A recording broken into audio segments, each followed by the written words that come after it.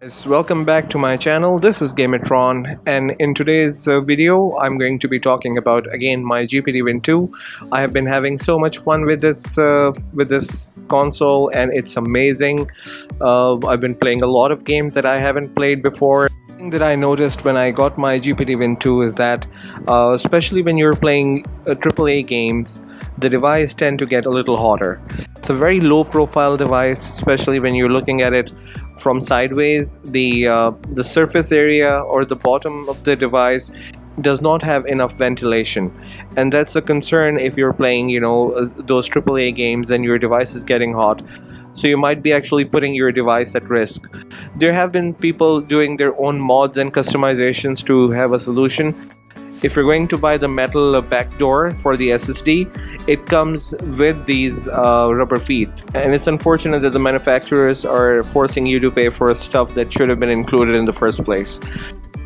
One more thing that I noticed is that the uh, the small uh, feet that it already has, these are molded uh, feet which is a part of the body since they're not having any resistance when you're having your GPD Win 2 on a table it can easily slide off and there have been instances in which when you're trying to pick up your device it just you know tends to slip off the surface.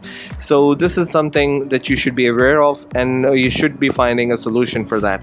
So for me I was trying to uh, look into different uh, videos and trying to figure out how people solve this problem. Since I do not have some sort of a Radio Shack or any such store in my area um, but there is there are some general hardware stores. So I went to the, uh, one of the stores and they have these small anti-slip uh, feet which are basically used for for small furniture.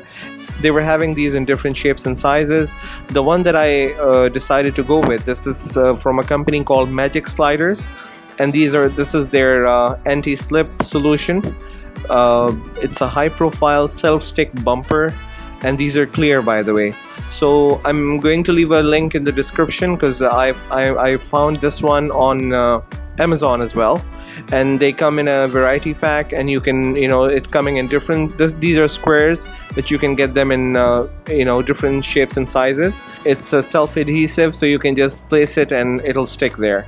So I placed four of these as you can see here and uh, they have lifted the device off the surface and they're serving the purpose. There's uh, enough cool breeze or ventilation now for my GPD Win 2 and it's not getting as much hot as it was getting before.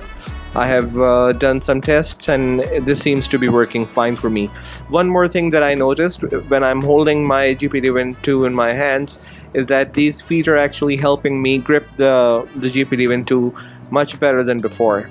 Because if you're not having greasy hands or if you're having a dry skin like myself, then the surface, the bottom surface is, is very slippery and there is um, I wish they had left those you know bumpers that they had um, in the prototype when they were designing the device. The prototype uh, included those side rubber bumpers. I wish they were left as part of the the final product but somehow GPD decided to maybe it was cost cutting or what I don't know. Anyways I have placed these bumpers and they are working very very good. So this is my solution. Let me know what you guys think uh, I know that they don't look that good. I can deal with it when it comes to safety. If it is about safety, I don't care about the looks that much. So uh, this is it guys. This was my solution and uh, let me know what you guys think.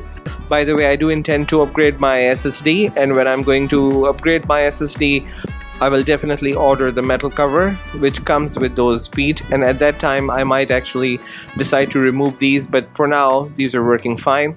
So that's it this is Gameatron. Uh, I hope to see you guys in the next video very soon. Bye for now.